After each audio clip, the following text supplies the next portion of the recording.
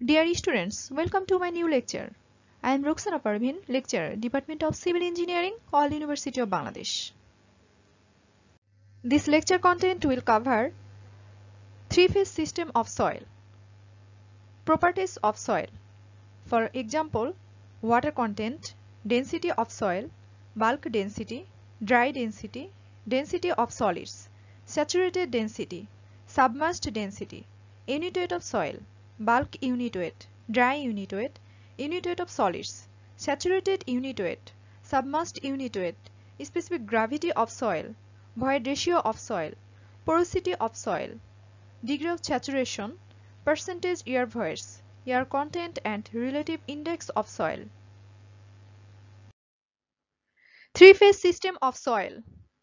A soil as a three-phase system consisting of solid particles called soil grains, water and air. The void space between the soil grains is filled partly with water and partly with air. However, if we take a dry soil mass, the voids are filled with air only. In case of a perfectly saturated soil, the voids are filled completely with water. This is elements of natural soil. If we separate all the elements from soil, we will get solids, water and air. Here, V air, V water and V solids represents the volume of individual element. Similarly, W water, W solids represents weight of individual elements. In terms of volume, Vs equal to volume of solids. VW equal to volume of water. VA equal to volume of air. VB equal to volume of voids. V equal to total volume of soil. In terms of weight, Ws equal to weight of solids. WW equal to weight of water. WA equal to weight of air equal to 0. WV equal to weight of voids. W equal to total weight of soil. We can say total volume V equal to sum of all this volume. That means volume of solids, volume of water and volume of air. Similarly, total volume of voids VV equal to volume of water and volume of air. Again, we can say total weight W equal to sum of all this weight. That means weight of solid, weight of water and weight of air. Similarly, total weight of voids equal to weight of water and weight of air. As weight of air equal to 0, so we can write WV equal to WW. Properties of soil. Water content. The water content W, also called the moisture content, is defined as the ratio of weight of water WW to the weight of solids WD in a given mass of soil. So we can say water content W equal to weight of water WW divided by weight of solids WD into 100. The water content is generally expressed as percentage. Density of soil. The density of soil is defined as the mass of soil per unit volume. Bulk density. The bulk density or moist density is the total mass of the soil per unit of its total volume. So we can say bulk density of soil rho equal to total mass of the soil m divided by total volume v. It is expressed in terms of gram per centimeter cube and kg per meter cube. Dry density. The dry density is the mass of solids per unit of total volume of the soil mass. So we can say dry density rho d equal to mass of solids md divided by total volume v. Density of solids. The density of soil solids is the mass of soil solids per unit of volume of solids. So we can say density of solids rho s equal to mass of solids md divided by volume of solids vs. Saturated density rho. When the soil mass is saturated, its bulk density is called saturated density. Thus, saturated density is the ratio of the total soil mass of saturated sample to its total volume. Submerged density rho prime. The submerged density is the submerged mass of soil solids per unit of total volume of the soil mass. Unit weight of soil gamma the unit weight of a soil mass is defined as its weight per unit volume. Bulk unit weight. The bulk weight or moist weight is the total weight of a soil mass per unit of its total volume. So we can say bulk unit weight of soil gamma equal to total weight of the soil W divided by total volume V. Dry unit weight of soil gamma D. The dry unit weight is the weight of solids per unit of its total volume of the soil mass. So we can say dry unit weight of soil gamma D equal to dry weight of solids WD divided by total volume V. Unit weight of solids gamma S.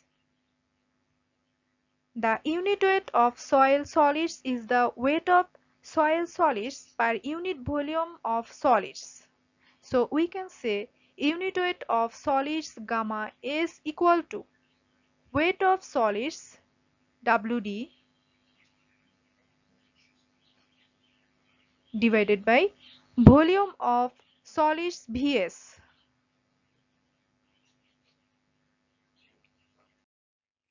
Saturated unit weight gamma sat. When the soil mass is saturated, its bulk unit weight is called the saturated unit weight. Thus, saturated unit weight is the ratio of the total weight of a saturated soil sample to its total volume. Submerged unit weight gamma prime the submerged unit weight is the submerged weight of soil solids per unit of total volume of the soil mass. So we can say submerged unit weight gamma prime equal to submerged weight of soil solids WD sub divided total volume of soil mass V. The submerged unit weight is also expressed as gamma prime equal to gamma sat minus gamma w where gamma sat equal to saturated unit weight of soil and gamma w equal to unit weight of water.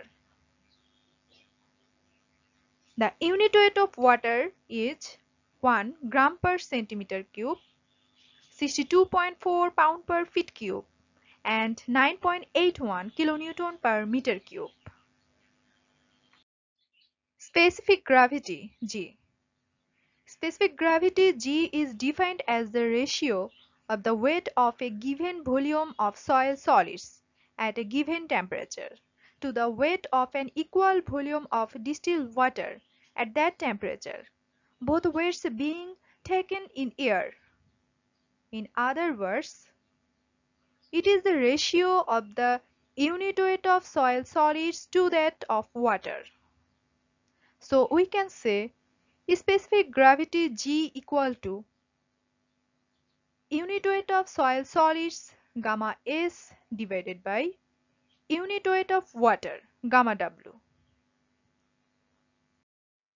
Void ratio Void ratio E of a given soil sample is the ratio of the volume of voids to the volume of soil solids in the given soil mass. So we can say void ratio E equal to volume of voids VV divided by volume of soil solids Vs. Porosity The porosity N of a given soil mass is the ratio of volume of voids to the total volume of the given soil mass.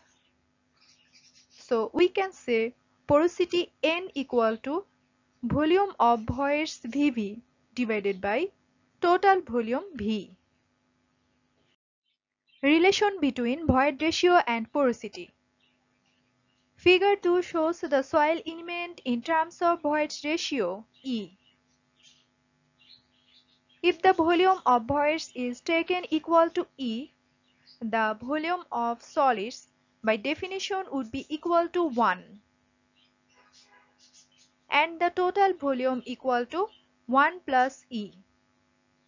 Similarly, from figure 1, if the volume of the voids is taken equal to N, the total volume of the element will be 1 and hence the volume of solids would be equal to 1 minus N. From figure 2, we have by definition of porosity, porosity N equal to volume of voids VV divided by total volume V equal to E divided 1 plus E.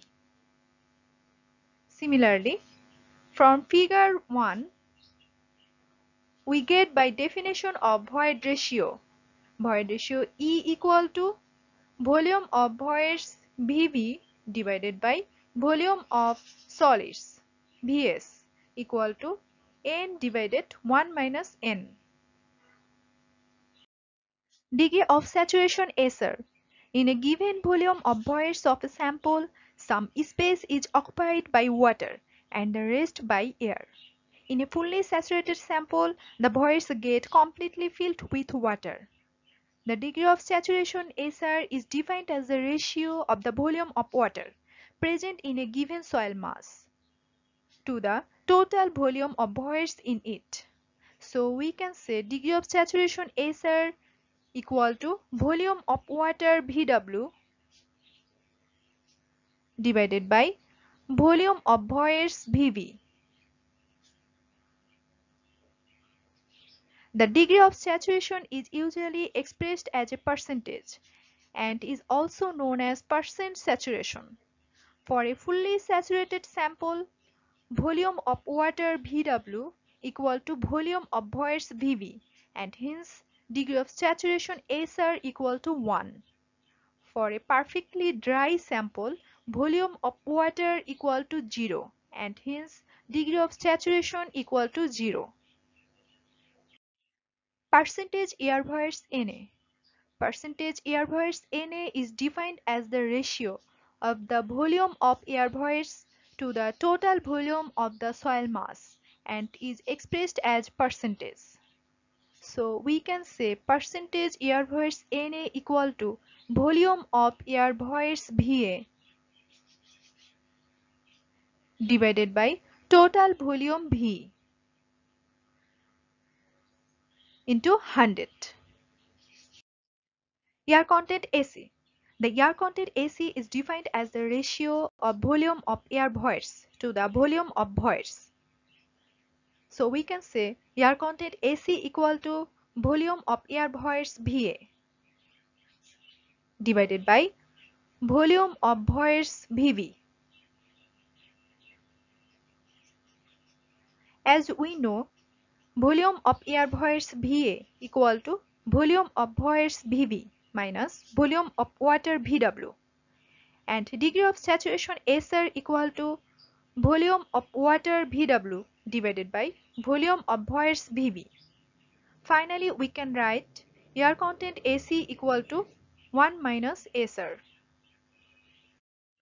Relative index ID. The term density index ID or relative density or degree of density is used to express the relative compactness of a natural soil deposit. The density index is defined as the ratio of the difference between the voids ratio of the soil in its loosest state Emax and its natural voids ratio E to the difference between the voids ratios in the loosest and densest states. Relative index ID equal to Emax minus E divided by Emax minus Emin, where Emax equal to void ratio in the loosest state, Emin equal to void ratio in the densest state, E equal to natural void ratio. When the natural state of the cohesionless soil is in its loosest form, then natural void ratio E equal to void ratio in the loosest state Emax and hence relative index ID equal to 0. When the natural state deposit is in its densest state, then E equal to E min and hence ID equal to 1. For any intermediate state, the density index varies between 0 to 1. From figure, we can see if the density is high, then void ratio will be minimum and density will be maximum. Similarly, if the density is low, then void ratio will be maximum and density will be minimum. And this is the end of our today's lecture. Thank you everyone.